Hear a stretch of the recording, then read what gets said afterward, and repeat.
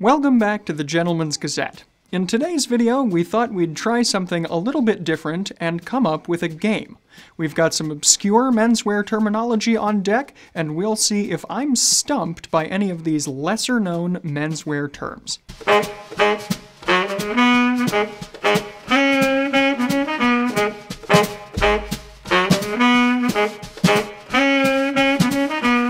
As longtime viewers of the channel are sure to know, we're big fans of history at the Gentleman's Gazette. We focus mostly on the early to mid 20th century, though we do extend out in either direction for a broader view of the history of menswear on occasion. But while we focus mostly on the so called golden age of menswear, our scriptwriting team brings different talents to the table. And in particular, one of our scriptwriters, Aaron White, is very passionate about the Edwardian era of menswear. So, for a change of pace today, Aaron put on his thinking cap and tried to come up with some obscure menswear terminology that I might not be familiar with. To take it a step further, though, we framed things as a game. So, I'll be fed the terms, and depending on my answer, I'll get either two points for something that's fully correct, one point for an answer that's roughly in the ballpark, and zero points for an incorrect answer. We encourage you to play along and let us know your score in the comments. And as a disclaimer, though we framed things here a little bit fictionally, the contestant me that you'll be seeing was hearing the terms for the first time and hadn't looked at the script beforehand, so my reactions are in fact natural. With that said, you'll be seeing these natural reactions and how well I played the game, and in between, we'll be giving you a bit of background. Without any further ado, then, let's jump right into today's game and play Stump Preston.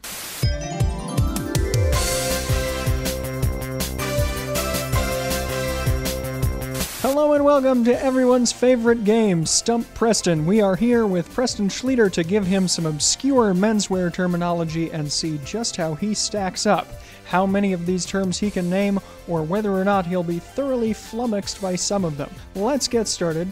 Your first term today, term number one, is French bearer. Boy, uh, well, we're starting off difficult because I have to say, in all honesty, I really don't have any idea. Um, by the term bearer, I would guess something that is holding something else. So it's probably some sort of support accessory, but no, I have no idea. You get zero points for that one. I'm sorry, that is an incorrect guess. We cannot award you anything. Zero points for the French bearer. Let's see what the explanation is. Our first term today, the French bearer, refers to a piece of fabric sewn into a trouser's waistband in order to keep the trousers straight. In the Victorian era, the French bearer was somewhat reversed from what we would see later. This is to say, the fly would contain one or two extra buttons on the left, and a large tab that extended out of the side seam would be pulled around and buttoned on. In America, however, these were often rendered as just a simple tab. The style evolved over time and is now most commonly seen as a tab extending from the fly with a buttonhole cut into it to receive a button that's located on the trouser waistband. And they can still be found on high quality pairs of trousers today. The idea behind the French bearer is that it will keep the trouser line straight at the waist, and it will also help you to keep your trousers up while buttoning them. Because it also takes some of the stress off of the fly, it can also make your trousers more hard wearing. It's called a French bearer because the style was introduced in France and bore the burden of keeping the trousers up while they were being buttoned. All right, here we go with our second term. Term number two, d'Orsay. Um, this one I think I know, or I might at least be in the ballpark because it came up in a recent video. Does it have to do with the curl of a hat brim? Because I remember that there was a man by the name of D'Orsay who was known to wear his hats with curled brims, so I'm going to guess that it refers to the brim curl. Congratulations, you are absolutely correct and are thus awarded two points. You got that one just right. Let's hear a little bit more about what this term means.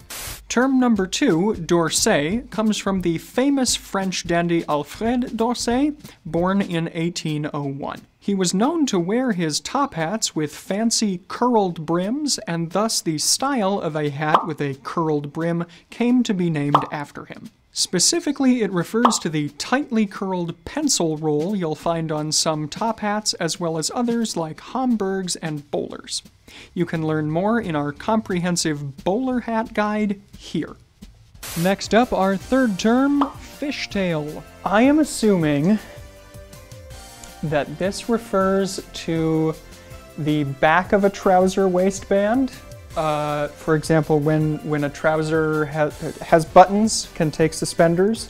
Uh, oftentimes, those trousers that take suspenders and have buttons have uh, a split in the back of the waistband, and I believe that's usually referred to as a fishtail waistband. Right again, that's another two points for you. Let's hear a little bit more about the background of the fishtail. Our number three term today, fishtail, refers to the fact that when modern trousers were introduced in the 19th century, they had a V shape in the rear of the waistband. This V shape was essentially a remnant of the earlier breeches, which would be tied through lacing. Breeches would have a slit down the back, which would sometimes be covered by a gusset, but other times left open. When trousers, which were essentially elongated breeches, became popular at the beginning of the 19th century, they too had this laced closing at the back. And when lacing died out in favor of cinch belts with buckles, the eyelets disappeared but the slit remained. This left the V shape at the rear of the trousers that allowed the wearer to pull in or let out the waistband. In the 1930s, the waistbands of high waisted trousers and their V shaped backs reached quite a height and resembled fishtails, which is when we believe the term originated. Next up, term number four cagoule. This refers to a piece of outerwear. I know that it's a jacket of some type. I believe it's like a like a middleweight jacket. Um, not necessarily like a rain slicker, but um, yeah, like a middle weight jacket. You're roughly in the ballpark on that one. Not as much information as we would have preferred, however. We'll give you one point for this one. Let's hear more about cagoule. Next up is cagoule, which is a British word for a lightweight rain jacket, although this term might even be unfamiliar to most British people. This style of jacket is more commonly referred to in Britain as a pack-a-mac, which is the name the jackets were marketed under originally. We discovered this word through a rather amusing incident in our Mad Men video, which you can see here. The benefit of this lightweight jacket style is that it could be rolled up and placed or packed in a bag. The idea was first patented, or patented, in the 1960s by the Peter Storm brand, but it later shot to popularity once it was sold and marketed by the French brand K-Way in 1965 under the name Pack-A-Mac. The name in long form refers to packing a Macintosh, referring to the famous Macintosh style coat first introduced in Scotland in 1824 and still produced today, though under Japanese ownership. Okay, term number five retainer. Term number five retainer. Assuming that it is not referring to the orthodontic implement, um, let's see. Uh, I think I have heard this term. I'm going to know it when you give me the definition, but off the top of my head, I can't recall. No, I'm sorry, we can't award you any points for that one, and no, it doesn't have anything to do with dental appliances. Let's hear more about the history of the term retainer in menswear. You might think our number 5 term, retainer, also had something to do with teeth, but in fact it doesn't. In menswear, the term refers to a way to keep your necktie looking presentable. Historically, when men would wear smooth, starched collars like standing collars or wing collars, there was the potential for the band of a necktie knot to slide around and look unsightly. Thus, retainers were used to stop the tie from sliding up the back of the collar and could be found in the form of either small loops of fabric at the back of a shirt running vertically for a gentleman to thread his tie through, or in the form of pins, specially shaped studs, or hooks. Another form of retainer was one that attached to the front collar stud and was designed to attach directly to the tie knot itself, and others were wires or small clips that were used to keep the knot looking good. Next up here is a fun one union suit. Oh, yes, uh, I believe I know this one. This would be the one piece undergarment, um, often depicted in media as being like a red color uh, and with a flap on the posterior, if memory serves. Uh, but yeah, a one-piece undergarment. Absolutely correct. That's two more points for you. Let's hear a little bit more about union suits and what they are. In the 19th century, men would wear underthings that were complicated and gaudy, with lacing at both the back and on the legs. And before this, men would simply tuck their shirts directly into their trousers, doing today what we would call going commando.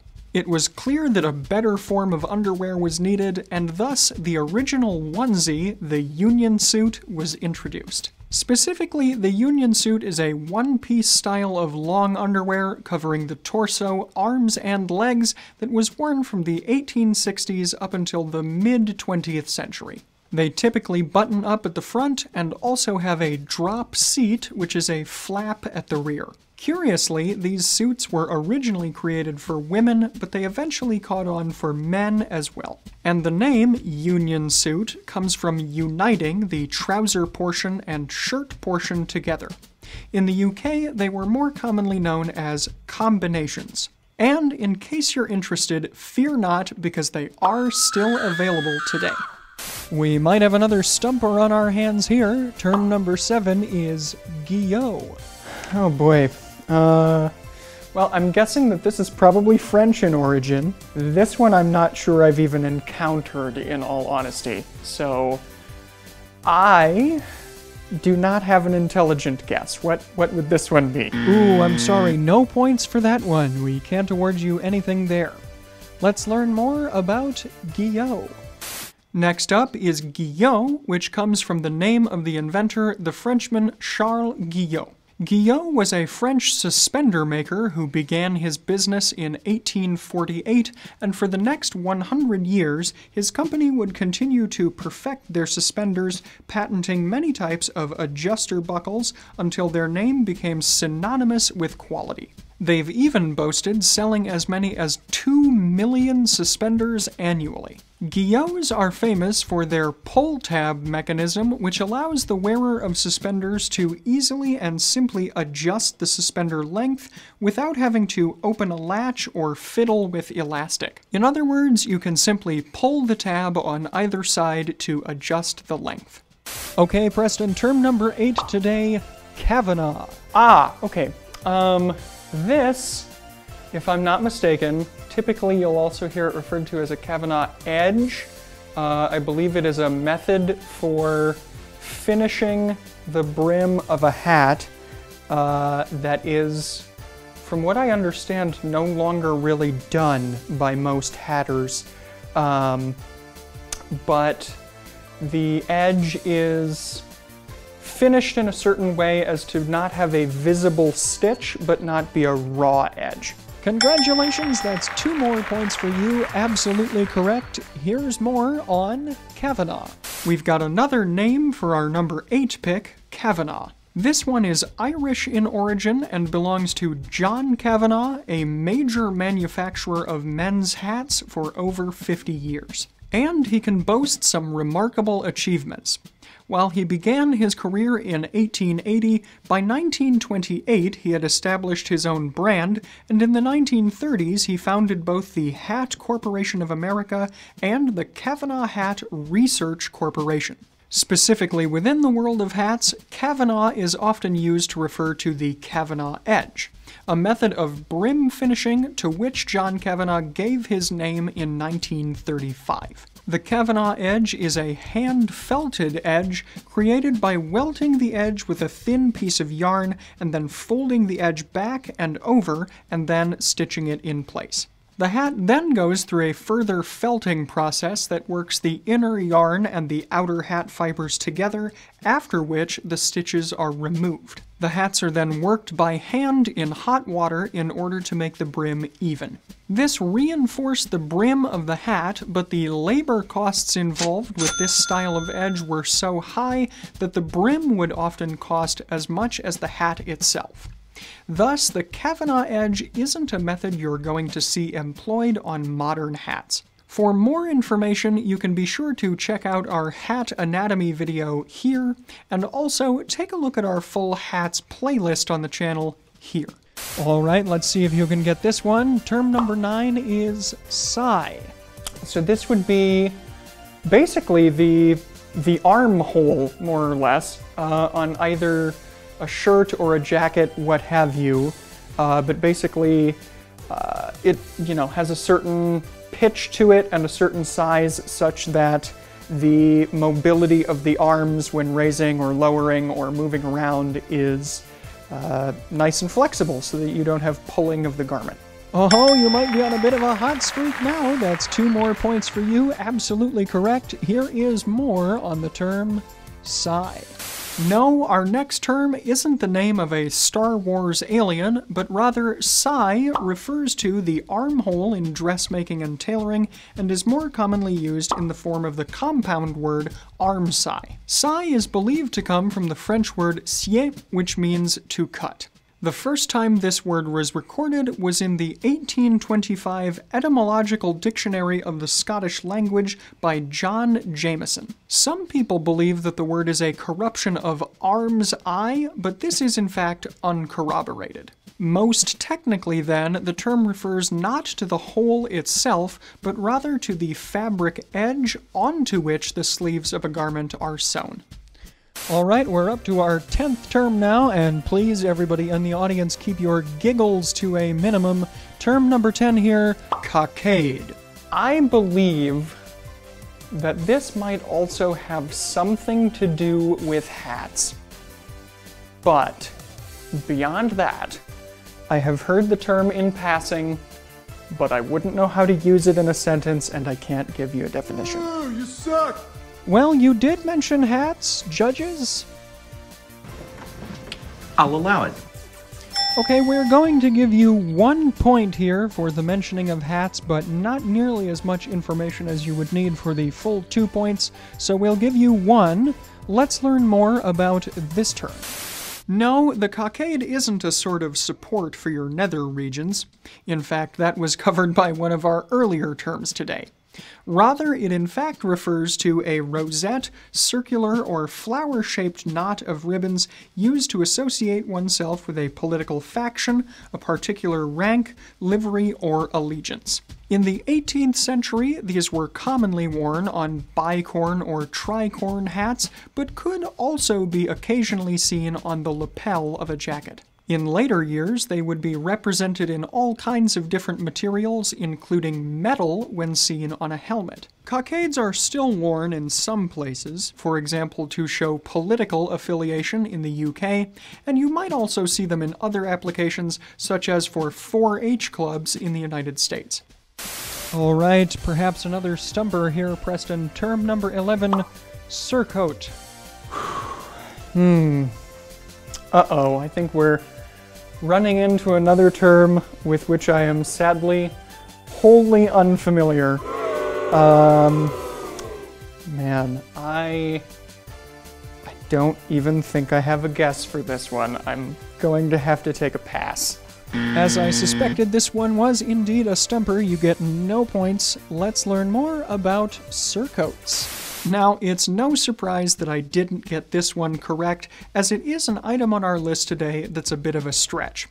After all, we're going to have to go all the way back to the Middle Ages to see this used in its heyday. A surcoat, spelled two different ways, is a garment that was originally seen in the 12th century that would go over the top of a suit of armor. It was generally quite long, reaching all the way down to the mid calf, with slits that would allow a knight to still ride a horse comfortably. Some had sleeves, though many were sleeveless, and importantly, it shouldn't be confused with the shorter and always sleeveless tabard, which was more commonly worn. Furthermore, tabards were characterized by open sides. As a way for knights to show their allegiance, the surcoat would often be decorated with personal arms, heraldic symbols, allegiance, or iconography.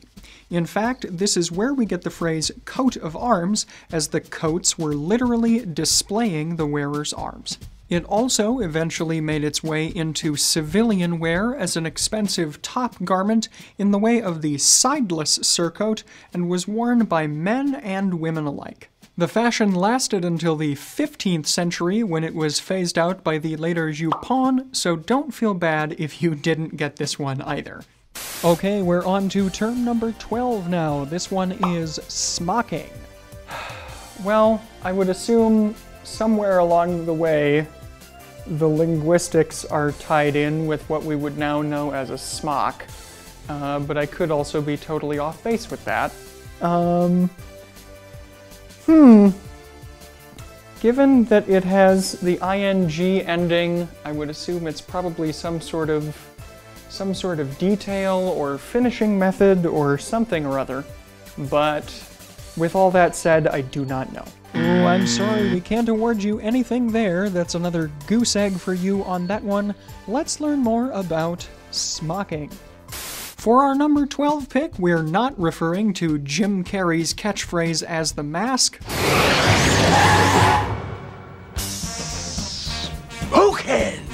But rather to a garment making technique that consists of gathering fabric and embroidering over it, which allows for the fabric to stretch better. It was commonly used for necklines and sleeves to allow the wearer to slip into the garment more easily. Unfortunately, not much is known about the origins of smocking, but it is a very old art form dating again to the 12th century. Shirts with large collars and heavy smocking were referred to as smocks and were commonly worn by working men in rural Britain, such as farmers and bakers, as utility and work garments to protect their underclothing. Smocking died out in the Industrial Revolution as the garments were long and baggy and therefore could easily be caught or snagged in machines. It does continue to be used today, however, in clothing for women, both children and adults. All right, next up is our 13th term today collar pleat. This is some sort of humorous reference to our Suitsupply video and is not actually a real term uh, I would be very amused because, of course, in that video, uh, the term came up and none of us knew what it meant. Um, but if it is actually a real term, and Suitsupply had it listed for a reason, I still don't know what it means because I never took the time to look it up, so I would be curious if it actually has a real definition. Yes indeed, we did try to trip you up with this one, but you caught on to our ruse. Let's learn a little bit more about collar pleats, whether they may or may not exist. I caught on to Aaron's trick for our number 13 pick, collar pleat, which, as I mentioned, was a term used by Suitsupply with which none of us were familiar in store. However, we may have a bit of an answer here today. Sometimes, when the shoulders of a jacket are more sloped than those of the wearer, a horizontal bulge can appear below the collar of a jacket that can be referred to as a collar roll. This can easily be altered by a tailor, and given that Suitsupply is a company with a Dutch origin, it's possible that the word roll was mistranslated as pleat here. This is perhaps because the word plooi in Dutch can mean both bulge and pleat. By the way, credit here goes to Dutch tailor Tom van Hethoff for this revelation.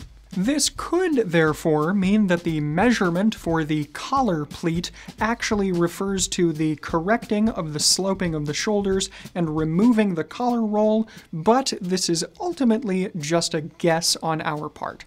All right, Preston, it all comes down to this. Your final chance for a few more points here, our 14th term, Onassis. I believe this refers to a particular style of tie knot that was popularly worn by uh, Aristotle Onassis, um, one time uh, companion of Jackie Kennedy. Uh, and if I'm not mistaken, this tie knot basically has the larger uh, front blade of the tie more or less just draped over the knot with actu without actually being inserted through. So it looks um, roughly analogous to an ascot or cravat. Um, but yeah, I think that's what it means. Good work! You've ended on a high note. That's another two points for you with a correct answer. And here's more about the term Onassis.